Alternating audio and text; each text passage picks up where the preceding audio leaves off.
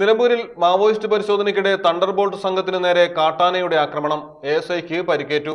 Thunderbolt A S I Danish കുര്യനാണ് സാരമായി പരിക്കേറ്റത്. മാവോയിസ്റ്റുകൾക്കായുള്ള തിരച്ചിലിനിടെ കരുളായി റേഞ്ചിലെ നെടുങ്കയം ഫോറസ്റ്റ് സ്റ്റേഷൻ പരിധിയിലെ പുലിമുണ്ട മഞ്ഞിക്കടവ് വനപാതയിൽ വെച്ചായിരുന്നു കാട്ടാനയുടെ ആക്രമണം.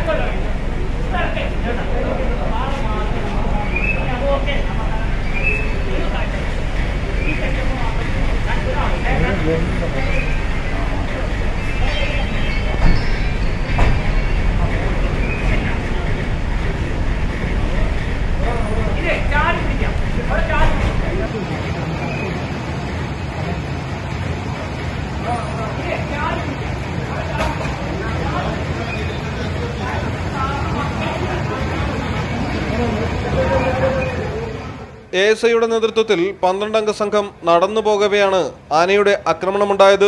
തുമ്പി കൈകൊണ്ട് എ എസ് ഐയെ ആന എടുത്തെറിയുകയായിരുന്നു. തുടർന്ന് ചവിട്ടി പരിക്കേൽപ്പിച്ചുവെന്നാണ് അറിയാൻ കഴിഞ്ഞത്. കൂടെയുള്ളവർ ബഹളം വെച്ചതോടെയാണ് കാട്ടാന പിന്തിരിഞ്ഞു പോയത് ഉടൻ തന്നെ എ എസ് ഐയെ ആശുപത്രിയിലേക്ക് കൊണ്ടുപോകുന്ന വഴിയിൽ വെച്ച് ചെറിയ ആംബുലൻസിലേക്കും തുടർന്ന് വടപുറത്ത് വെച്ച് വലിയ ആംബുലൻസിലേക്കും മാറ്റി ആശുപത്രിയിൽ എത്തിക്കുകയായിരുന്നു.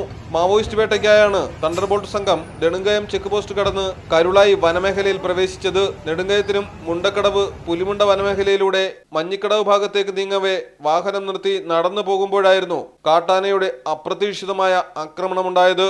മലയാളം ടെലിവിഷൻ നിലമ്പൂർ.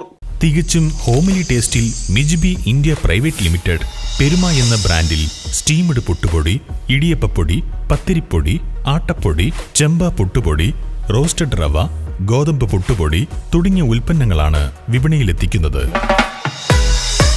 ഇനി ഓരോ വീട്ടിലും പെരുമയുടെ പെരുമ പറയട്ടെ.